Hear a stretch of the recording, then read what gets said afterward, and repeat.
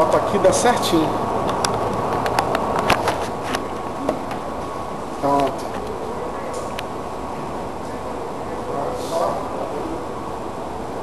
Então, pessoal, a aula de hoje, a gente fala sempre. É...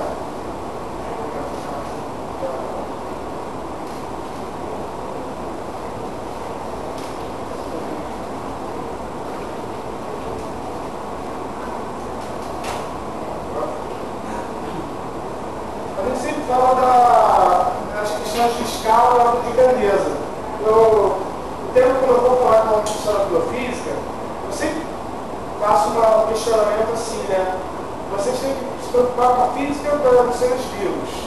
E os seres vivos, eles vão desde um- uma baleia que é enorme até uma bactéria. Eu nem falar vírus, porque eu não, até hoje eu não sei se vírus é considerado.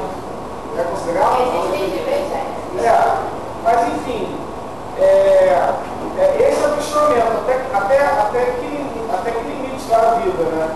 E, enfim, e se, e se existissem seres ultra gigantescos, eu, eu, eu brinco, né? Se, isso, e se os alienígenas forem superiores a gente, porque eles são gigantescos, tão grandes podem ter um, um corpo físico.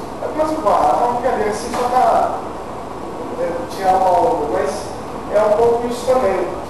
E vocês vão ver que tem, tem toda uma questão também, né, quem, quem, quem é mais evoluído? É, por que, como é que a gente vai definir quem é mais evoluído ou não? Né? A gente sabe que os, os organismos vivos se adaptam de acordo com as circunstâncias. Só que a própria palavra evoluído dá uma, uma tendência de que um é melhor que o outro. E isso, pô, como é que vai definir quem é melhor que o outro? Né? Vou tentar falar um pouquinho. A aula hoje, ela fala do movimento.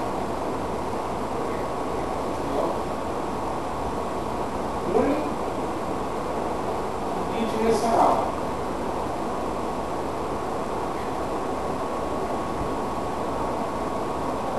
Só que esse, esse daqui eu não dou uma aula padrão, eu quero dar uma aula um pouco mais conversada com vocês. Em vez, o que acontece? Quando você vai pensar em movimento, a primeira coisa que vai vir em mente para você são as formas de movimento, que é a do sorvete, né? S igual a V, T, a, a da velocidade, né, que é V, igual a delta S sobre, sobre delta T. Só que fica- isso aqui fica meio morto, né? Você, forma automática e aí você cativa ela e não, não pega muita informação das, das coisas que estão acontecendo. Isso. Isso. Tem a, tem a storytelling. Mas eu vou estar comentando. Vou, vou estar comentando elas de uma outra maneira agora. A primeira coisa que eu escuto é o que a gente chama de ordem de grandeza. Ordem de grandeza.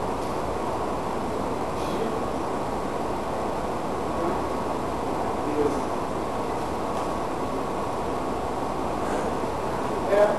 E as, as observações padrão é o que que é o tempo e o que que é o espaço.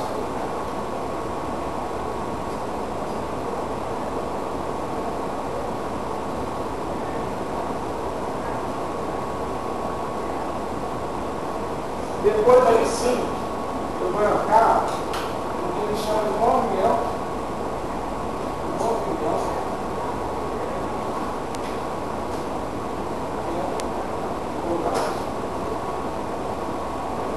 E aí, essa coisa do. Eu quis chamar de movimento temporal, porque é, você pode ter movimento, a questionamento é, você pode ter movimento se você não tiver tempo? Já para pensar nisso? Será que a gente dá para definir algo está se movendo sem ter o controle do tempo? Não, só que vai ter velocidade, que é o espaço do tempo. Mas será que você pode determinar Quando se moveu, isso? Sem o tempo? Você vê que eu- isso vai estar relacionado, vai estar relacionado com uma forma que a gente vê sempre e não, e não percebe. Você vê, se você está com uma, um carro cheio de gasolina, um motorista tem noção de quanto que anda o carro com um tanque cheio. Ele não precisa saber o tempo que vai percorrer. Só com noção, eu estou falando. Isso vai estar relacionado com a energia que o carro tem. Entendeu? Então você pode definir é, como as coisas se transcorrem sabendo a energia. Né? Aí eu brinco que quando você fala temporal, você tem essa questão de presente, passado e futuro. Uma vez, uma vez, é, todo mundo pergunta, né? Quando você bebe, você esquece as coisas? Eu, eu tenho certeza que não é, não é que você esquece as coisas, mas quando você bebe, você perde essa noção de o que é passado, presente e futuro. As coisas ficam tão embaralhadas que você perde esse, esse fio da meada. A lógica temporal se perde. Aí é outra lógica que entra. E aí você consegue ter essa noção de movimento, de como que as coisas se transcorreram. Vamos falar um pouquinho sobre isso. Só que para isso, eu discuto o que a gente chama de zero, de zero dimensão.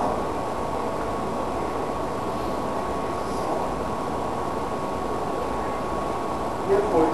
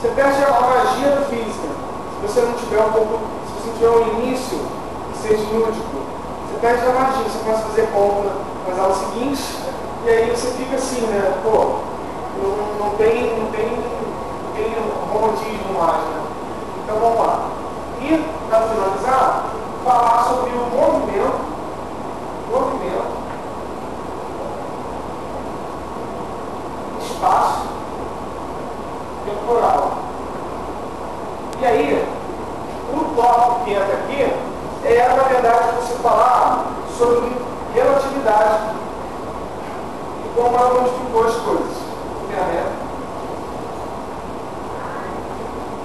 Vou aqui.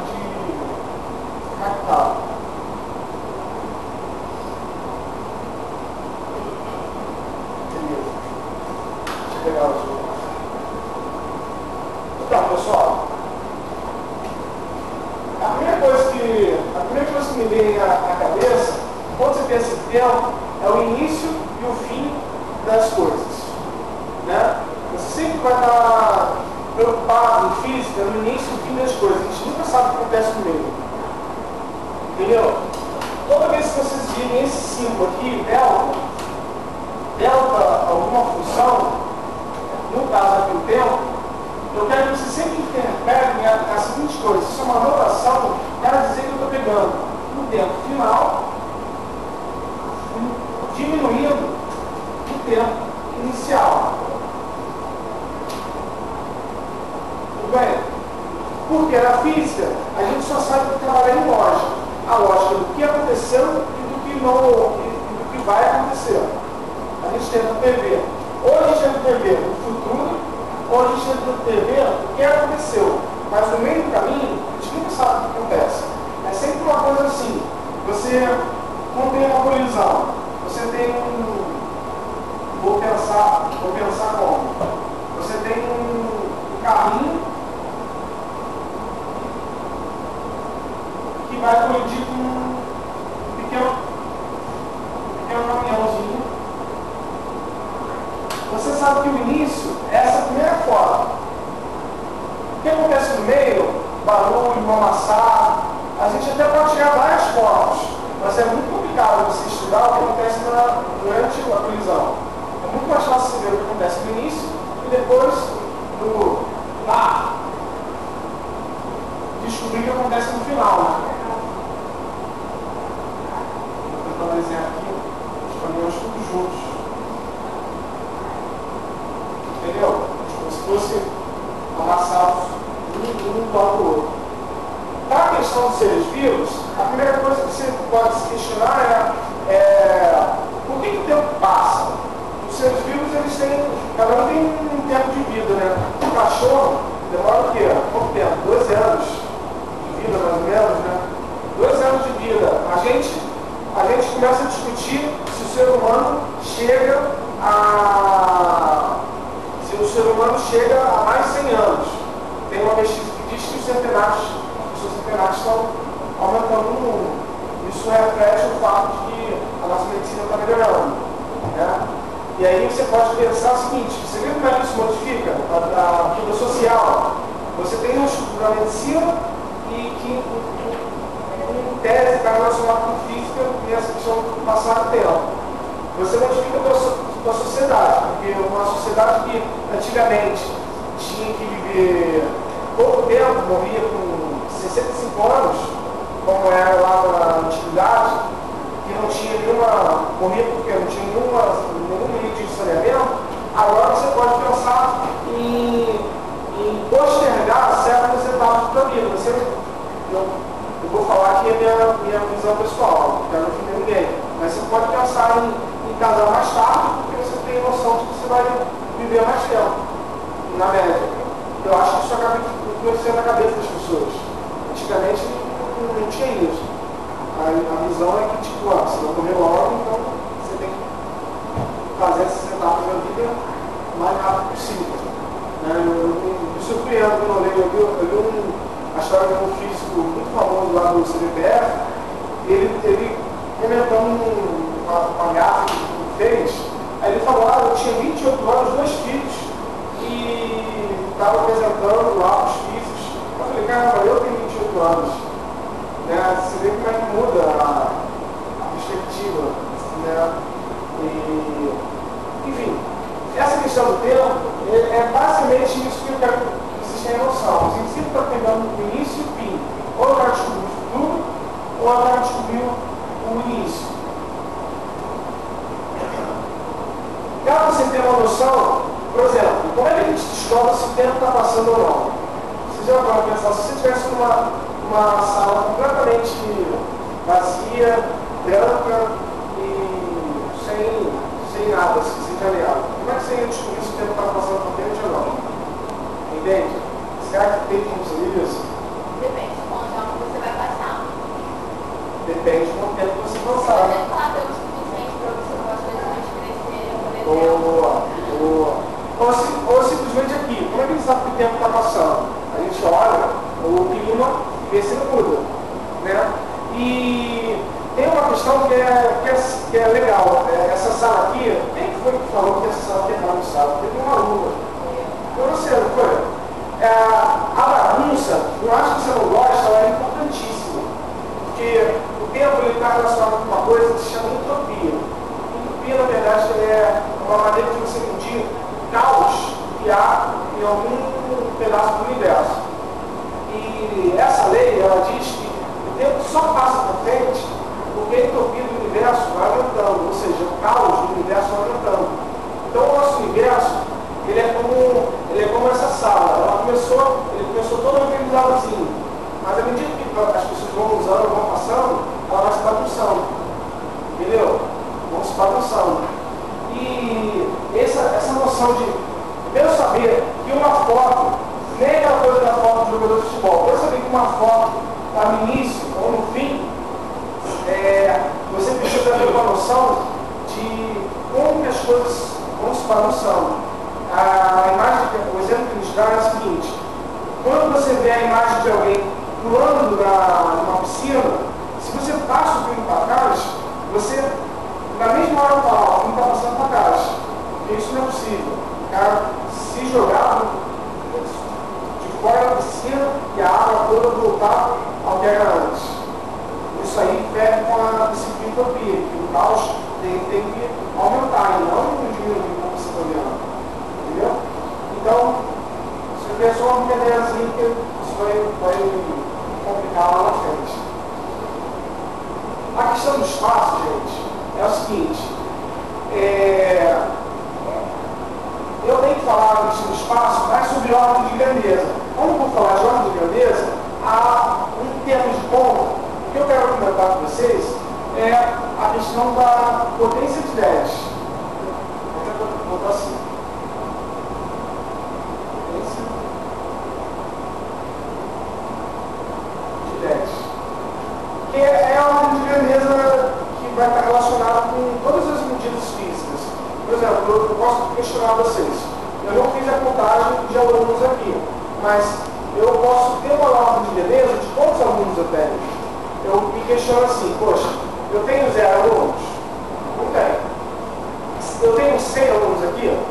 Também não tenho. Agora, quando, eu pego o meio termo entre 0 e 100, pego 10, já está próximo. Então eu posso falar que a ordem de grandeza da minha turma é de 10 alunos. Eu posso ter desde 10 alunos exatos ou até 20, 30. E aí você tem que perceber que existe uma sutileza aqui. Como é que eu vou definir o que, que é o meio de uma ordem de grandeza da outra? Por exemplo, eu disse, eu tenho um aluno, não tenho. Eu tenho 100 alunos, não tenho. Mas eu tenho aqui um meio de termo, seria 10. Tudo bem?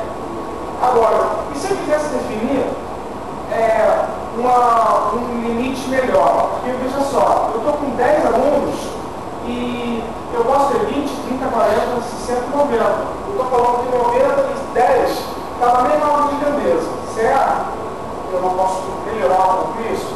Será que eu posso criar uma coisa que termina o quanto está entre 10 e 100 em ordem de grandeza? Aí, Adrião, aí Adrião, o que acontece? Uma brincadeira. A brincadeira aqui é o seguinte, é você reconhecer que um na verdade, está relacionado com 10 elevado a zero. Entender que 10 está relacionado com 10 elevado a 1. E que 100 está relacionado com 10 elevado a 2. E esse elevado que você vai chamar de ordem de grandeza. Entendeu? Aí a, a brincadeira é a seguinte, legal. O meio, em ordem de grandeza, o meio entre 0 e 2 é 1. E 1 equivale a 10. Então, o meio entre 1 e 100, na verdade, é 10. Agora, como que eu vou descobrir o meio entre 0 e 1 e 1 e 2? Vê só se eu posso fazer isso aqui. Chamar isso aqui de 10 elevado a meio. A metade entre 0 e 1 é meio. Só que aqui é a metade da ordem de grandeza, não do valor numérico. E aqui vai ficar a mesma coisa, né? Vai ficar 10 elevado a 1,5. Que na verdade é o princípio em meio. Né? O que, que na verdade é fazer elevado a meio? Eu não consigo fazer raiz 10. Alguém tem uma calculadora que faz aí? É bom? Raiz 10? Somar acho que não faz não. Ora, então eu posso se a vida para vocês. Já que não tem? Você tem? Ah, deixa. Tem um jeito mais fácil. É, a gente não sabe que para descobrir a dos 10, é só a gente completar o quadrado. Ora, qual que chega mais perto de 10? 3 vezes 3 dá 9. Correto? 4 vezes 4 já vai passar. Então, esse número aqui tem que ser aproximadamente 3. Então, eu quero que você entenda o seguinte, Marcos. O meio termo entre 1 e 10 não vai ser a resposta 5, como a gente está acostumado a fazer no enrolamento. Da, da ciência, a, o meio termo vai ser o valor de 3. E aí, não sei se vocês perceberam, de vez em quando, quando vocês veem um número de notação científica, não sei se vocês já repararam, mas é, geralmente você vê um número assim. É, você consegue enxergar números representados assim. 2,3 vezes 10 a sétima. Você vê números assim. 3,1 vezes 10 a 2. Mas você nunca vê, numa anotação científica correta, dificilmente você vai ver alguém escrevendo isso. 9,10, 9,0 vezes 10 a 1. Se você reparar, dificilmente você vai ver. Geralmente, o que as pessoas fazem? Número 9, a pessoa abaixa, abaixa a vírgula aqui e aumenta a ordem de grandeza lá. Ela escreve assim, 0,9 vezes 10 a 2. Entende? Quando eu ando com a vírgula para a esquerda, o que era 9 não vai passar a ser 0,9? Eu não estou diminuindo o número. Se eu diminuir o número aqui, eu tenho que compensar isso aumentando o número lá. Entende como é que funciona? E por que, que é feito isso? Porque o número 9 é um número muito próximo da potência de 10. Entende? Então, é melhor eu diminuir esse valor para 0,9, por quê? O 0,9 fica mais limpo. Ele fica 0,9 fica muito mais próximo da potência de zero, que significa 1. 0,9 é quase 1. Então, a gente tem que construir aqui esse valor numérico sempre muito próximo do, da ordem zero, que significa 1, sempre um número próximo de 1. O 3 e o 2 também está na ordem de 1, estão próximos. Mas, por que, que eu não jogo? Por que, que eu não faço isso aqui? 0,3 10 a terceira. Isso aqui não é feito porque definiu que a metade da ordem de grandeza é de 3 para cima. Então, toda vez que você vê um 3 para cima, 4, você já tem que jogar da 0.4. Entendeu? Só isso. Você vê que de uma, de uma coisa bobinha é uma coisa muito importante de cara. Estou falando aqui. Essa aula não é só cálculo, né? É um pouquinho de coisa útil também. É... Aí, gente, é uma brincadeira relacionada com unidade, no fundo, no fundo. Eu sou um professor que tive ponto de unidade, entendeu? Eu tive ponto porque vocês, primeiro, vocês vão ver que minha prova é difícil. E é um pouco de eu, de estar cuidando da atenção que vocês têm na prova. Mas eu não tiro muito não. Minhas provas é assim, eu dou um acerto e x assim eu dou um aceno, é, hoje está, acho, criancinha, cachorro, né? A criancinha, você vê, é um, um ser humano em escala menor, né? ainda está em formação. Ah, pode ser. É, eu, sempre, eu sempre tive assim, é, 25 décimos se você errar a unidade. Não é tudo não, entendeu? Vamos ficar estressados por causa disso.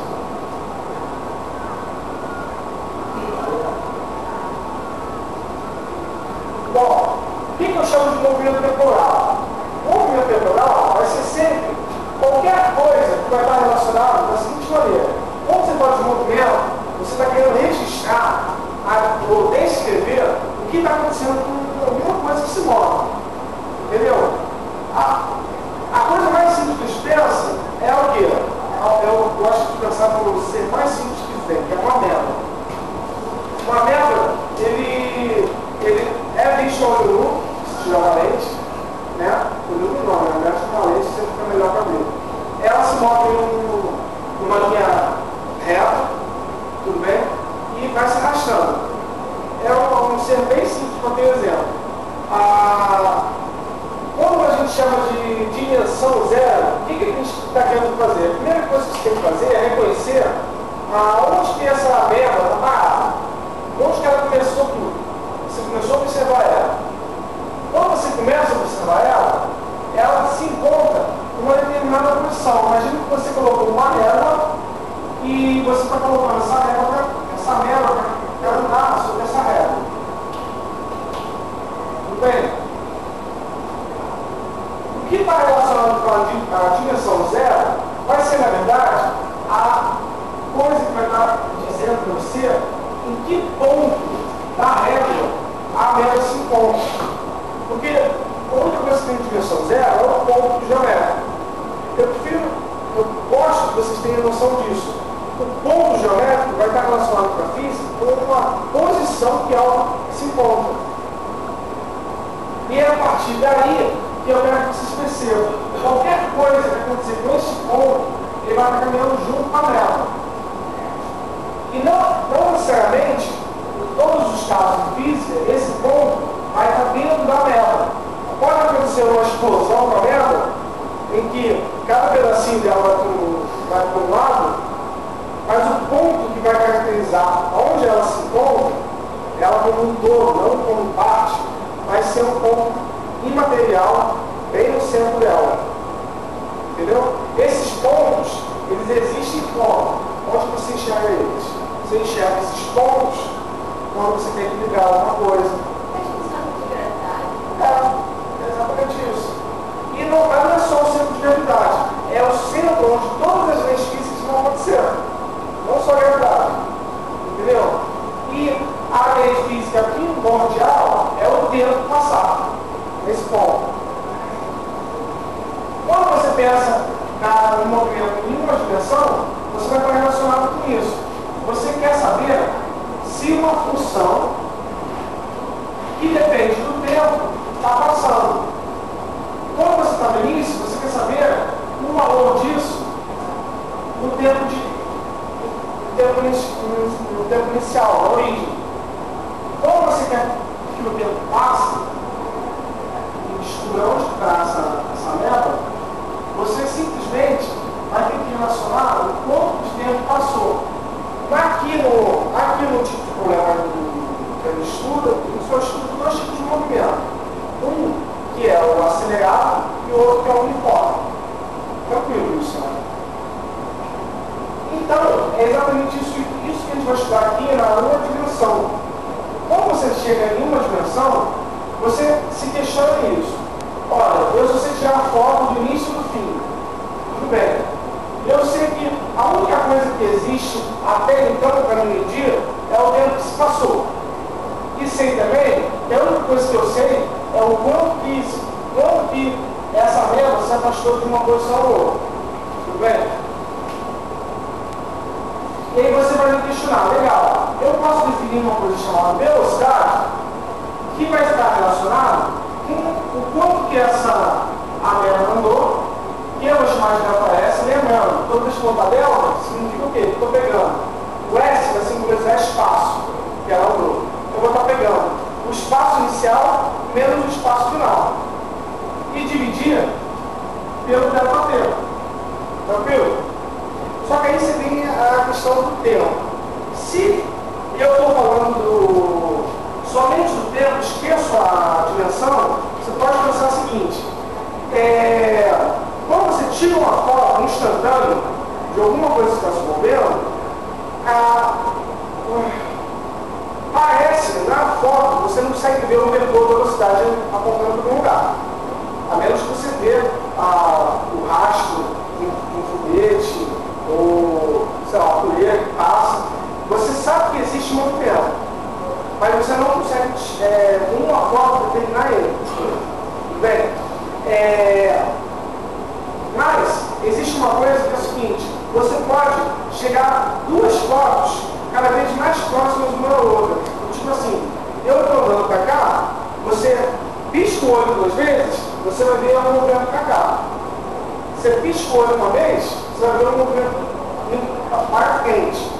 Mas, se você começar a piscar o olho muito rápido, você, o que antes você via andando três passos, você vai começar a ver eu andando um passo. Piscar mais rápido ainda, você vai ver eu só quando mexendo minha perna.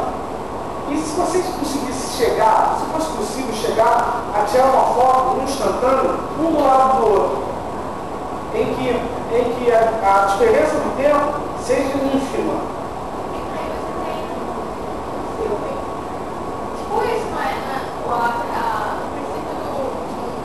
Não é isso. Só que o, o, o, o filme, eu quero que você entenda o seguinte, é que você não enxerga no teu olho.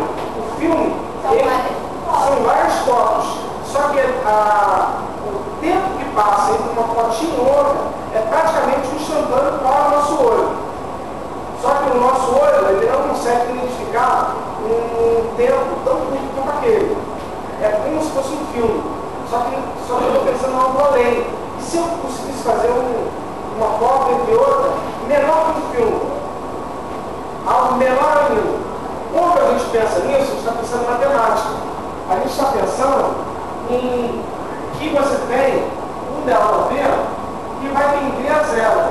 Não é, não é o valor zero, mas é tendendo a zero. É um tempo muito curto. E quando isso acontece, você chama a velocidade de derivada da posição em relação ao tempo. E aí, que você enxerga? Enquanto um, enquanto um quer o delta, você obtém a velocidade média, e essa, que é a definição de derivada, você acha a velocidade instantânea. Como se fosse possível descobrir exatamente qual a velocidade naquele instante, não no intervalo de tempo. Umas diz qual a velocidade no intervalo de tempo. A outra te fala qual velocidade naquele instante. Entendeu? Mas sempre tem mesmo, na verdade, distante é um intervalo de tempo pequeno. No caso da derivada de espaço de tempo, seria o instante da piscada, por exemplo. Se fosse uma piscada muito rápido. Ah. Entendeu? Você pode aproximar isso, se você for trabalhar no computador, não existe. Ah, no computador não existe um delta P e zero que existe é uma tamanho muito pequeno. No computador, você, você, a diferença, não existe diferença entre velocidade média e instantânea. É simplesmente essa daqui é um delta razoável e o outro um muito pequeno. E, e aí você percebe, né? É, essa, essa régua, ela está se movendo sobre essa régua, numa única direção, ou seja, quando ela anda na régua, ela está caminhando em uma única dimensão. E a gente fala que ela é um ser não evoluído porque ela só consegue andar numa direção. Agora, se eu tivesse, se eu, sou um carro ser super evoluído, posso caminhar em duas dimensões. Posso caminhar sobre um plano. Posso caminhar tanto para cá, na horizontal, como posso caminhar aqui na profundidade. Ou se você quiser olhar é, como se fosse a altura, eu posso, eu posso pensar, se tivesse uma escada aqui, eu posso caminhar tanto no horizontal, como posso subir uma escada na vertical. Tudo bem? É, a questão toda aqui é o seguinte, será que eu sou evoluído só porque eu consigo andar nas três dimensões do tempo? Essa, esse é o meu questionamento. Se você for para pensar, o ser humano ele, ele consegue andar nas três, nas três dimensões do tempo com a ajuda de alguma coisa. Agora o pássaro já consegue voar. É, o pássaro. Então, será que o pássaro é mais evoluído que a gente? Ele consegue andar nas três dimensões. Eu estou tentando identificar isso. Se eu definir que um ser mais evoluído é simplesmente porque ele caminha nas dimensões. Aí eu estou fazendo um papo filosófico, né? É, que vai estar relacionado aqui com esse ponto. Eu estou fazendo um link aqui muito rápido uma coisa e outra. Mas vamos lá. É, quando você pensa em, em duas dimensões, gente, o que você tem que raciocinar, Moçambique, é a seguinte. É, quando eu trabalho em duas dimensões, ou eu trabalho três dimensões, não, não vai ser tratado aqui, o movimento de dimensões, é simplesmente você entender bem o que acontece em uma dimensão e transpor isso para o que acontece nas duas dimensões repetidamente. A mesma física que acontece nessa régua que está na horizontal é a mesma física que vai acontecer numa régua que está na vertical. A mesma física. E o movimento que eu faço aqui não vai interferir no movimento que eu faço na, na horizontal. Eles estão relacionados. Quando o passarinho voa, ou quando eu bato no objeto e esse objeto cai, o que eu quero que vocês percebam é que o movimento que ele fez, olha só, bateu aqui, eu comi ontem, está aqui no chão. Eu vou comer, né? Ela vai ser como uma partida. Né? Essa bolinha aqui, estão vendo? Vou tacar as duas coisas para cá. É... Quando ela cai, ela tem dois movimentos que eles não vão, eles não vão interferir um ao outro. Eles acontecem independentemente um do outro. Mas, é, como é que eu vou dizer? Não é porque, vamos dizer assim, você, é, você, a, é, Camila, Gabriela, a Gabriela é independente da Carol. Tudo bem. Mas elas estão relacionadas, elas estão correlacionadas pelo fato de que elas têm que assistir a aula isso errado. Entendeu? Só esse? É dois, faz tudo. Ah, é? Então elas estão completamente correlacionadas. E quando você está com uma bolinha, deixa aquela coisa barulho mesmo, é, você tem uma correlação entre que o objeto anda e o quanto que o objeto sobe. Quem vai fazer esse casamento, o que, que eu falei? Elas têm que estar aqui no mesmo lugar.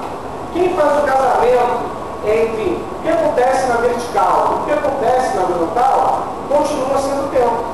Por isso que eu estou querendo falar aqui. Isso é um movimento temporal. Quem é que faz o objeto sair de um lugar para o outro? Vai ser o tempo que está correndo. Que vai relacionar a posição dessa partícula que eu taquei, que vai estar numa certa posição aqui na horizontal, numa certa posição vertical, vai passar o tempo, ela vai estar em outra posição na, na horizontal, em outra posição, assim, em outra posição na, na vertical. Quem vai estar casando, com- vai estar correlacionando as duas coisas, vai ser sempre o tempo. Então, mu- muitas vezes o que você tem que fazer para solucionar o problema é descobrir o tempo que essa partícula passou. Ou ele dá, ou você tem que descobrir. Entendeu? E aí eu quis brincar aqui com as dimensões extras. Isso aqui não é fácil. A dimensão seria é, Z, Y e X também. Isso, isso. Só que entender que esses, esses três são né? É. É, eu acabo falando de tri, mas é que eu né? A bidimensão é só, é só interpretar o seguinte, é, se eu quiser encaixar uma terceira dimensão, acontece tudo do, do mesmo jeito. As três, os três movimentos, você, em vez de você ter somente uma velocidade, você vai ter que calcular três velocidades. Se eu falar de bidimensão, como são duas dimensões, tem que falar de duas velocidades. E, e uma só de uma. Entendeu? Mas a forma permanece o mesmo. A única diferença é que tem como entre os três ou os dois é o tempo. Tranquilo? Só isso. Isso é o negócio do tratamento. Agora, essa brincadeira de dimensão extra, eu eu quis falar assim. O que é dimensão extra? Existe um acelerador de partículas lá na Suíça que se chama LHC. LHC está fazendo pesquisas para descobrir que o nosso mundo, na verdade, ele não é constituído de mais dimensões. A gente consegue observar bem as três. Mas tem uma brincadeira que o pessoal faz, que é o seguinte, é, uma folha de papel, você sabe que ela tem espessura. Essa seria a terceira dimensão da folha de papel. Mas se você olhar de longe e observar somente o, a parte maior da folha de papel, você vai afirmar que ela tem duas dimensões. Mesma coisa, é, uma caneta. Se você observar uma caneta é, muito fina, de longe, você, vai, você só vai conseguir observar uma dimensão dela. As outras vão ficar escondidas. E aí o questionamento deles é o seguinte, e se a gente que vive no mundo de três dimensões, na verdade, não está no mundo achatado? Achatado nas três dimensões. Assim como esse mundo aqui está achatado, visualização é essa. Esse aqui é um mundo achatado, numa dimensão. Esse aqui está achatado nas duas, que sobrou, e uma está esticada. E se, e se as outras dimensões também não estiverem, achatadas? O que eles fazem lá no HC é exatamente isso que eu brinquei. Eles botam um elétron para bater com outro elétron. E saber se no meio dessa colisão você vai ter perda ou ganho de energia. Se você vai se vai surgir alguma coisa nova ou não. No meio dessa colisão surgem novas partículas. Né? Na verdade, o LHC hoje ele, faz, é, ele fazia com elétron agora ele está participando igual. É energia maior. E aí ele, ele, se eu pudesse aumentar essa energia, é como se eu pudesse chegar perto e fazer um zoom aqui nessa dimensão que eu não estou chegando antes, como se eu me aproximasse. E e, e o meu questionamento é esse. Você vê, é, a, gente, a gente antigamente tinha visão. Uma meba, ela não é, uma meba ela não é desenvolvida porque ela só numa, numa linha reta. Né? Nós somos mais desenvolvidos, uma formiga mais desenvolvida porque ela, consegue andar em duas dimensões. Né? Ela fica sem peso ao plano. Eu já sou mais desenvolvido que a formiga porque eu consigo voar com a ajuda do avião. Aí o meu questionamento é o seguinte, e se tivesse um ser vivo muito pequeno, mas tão pequeno, ele conseguisse enxergar essa dimensão extra? E se ele pudesse caminhar sobre essa dimensão extra? Olha uma coisa louca. É, é isso que o pessoal acredita. Ah, na verdade, eu tinha pensado. Quando o tempo cara, isso, está pensando no metabolismo. Isso. Falar isso. Quando você pensa na zero dimensão, o tempo é, vai estar relacionado com o ser vivos ao metabolismo. Isso aí. Você falou, tem mais energia, o metabolismo vai acontecer mais rápido. E o tempo vai tender a passar mais rápido.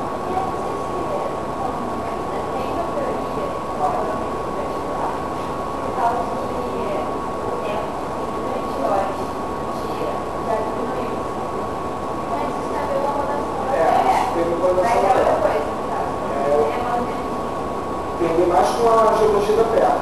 Entendeu?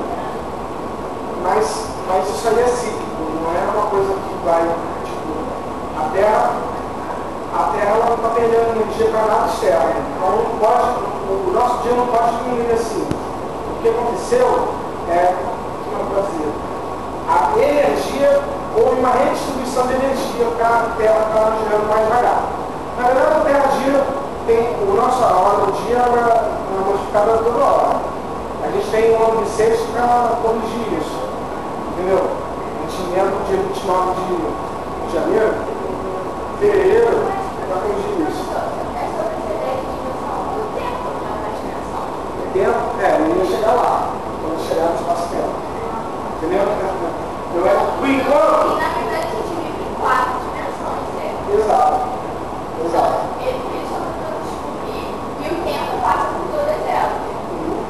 cada coisa melhor.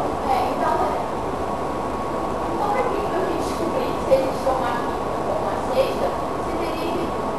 Mas a dimensão que eles querem saber é o seguinte, se essa dimensão extra, piorar. ela se contar por espaço, tem uma geografia. Existem pesquisas. É, pode ser isso. Se tivesse um monte de dimensão, nem faz ideia. Pô, legal, gostei. Mas por enquanto a gente procura aquilo que a gente conhece. Tem gente que pesquisa se o tempo tem duas dimensões. Por enquanto a gente acha que é só uma reta. A gente diz sobre o passado, presente e futuro. Tem pesquisadores que bolam um jeito imaginar que tem duas dimensões. Que a coisa não seria tão lógica assim. É, tem. Mas aí tem simplesmente a teoria da relatividade, né? Não, não desmente. Ela, pelo contrário, a, a teoria da relatividade ela, fala, ela não fala sobre o tempo, ela vai falar sobre se as coisas são simultâneas ou não. Há dois observadores que estão em movimento. Então ele ia afirmar mais. Ele, enfim, de certa forma sim. Só que o que eu vou falar aqui sobre a dimensão é mais essa questão de energia e essa questão de escala. É, eu não, é que acredito em engenharia extraterrestre, mas eu, eu, eu aceito a hipótese de eles existirem. Né? Se existe um ser superior a mim, isso tem, isso tem um pouco a ver com religião também, com a crença. Se existe um ser superior a mim, é, não seria razoável que ele tivesse uma dimensão extra, ele fosse três dimensões. ou mais. Mas enfim, o papo todo fica muito, muito louco, assim, né? O ser humano, é, eu só caminho na também tem essa, eu só caminho na terceira dimensão com a ajuda de objetos. Será que eu não conseguiria caminhar nessas outras dimensões com a ajuda de outros objetos? Entendeu? É um pouco dessa, dessa brincadeira, eu estou tentando fazer filosofia aqui com vocês. Né? É, essas dimensões extras, a, a pesquisa que faz lá para a é para tentar descobrir uma quarta dimensão espacial. Uma quarta dimensão espacial. Mas existe gente que busca, em teoria, descobrir uma segunda dimensão temporal. Eu gosto muito dessa aqui, eu acho interessante. Mas isso tudo vai estar relacionado também com a escala que você está você está estudando. Se eu fosse um ser muito grandioso, muito grande, do tamanho da, da galáxia, será que a física que acontece comigo, que sou do tamanho de uma galáxia, é a mesma física que acontece com um ser que é menor que uma bactéria, um vírus? Não. Ah, não é a mesma física que acontece com as partículas, o que acontece com as, com as com as coisas grandes, então não Aí, pode ser. aí, vocês vão, aí, aí, aí vocês vão ouvir comigo quando eu falo de capital. Aí vocês vão ouvir comigo quando eu falo de capital. O que eu estou discutindo aqui é uma filosofia, princípio. Entendeu? Mas vamos lá, vamos, vamos ver o que segue. Quando você faz a composição do movimento,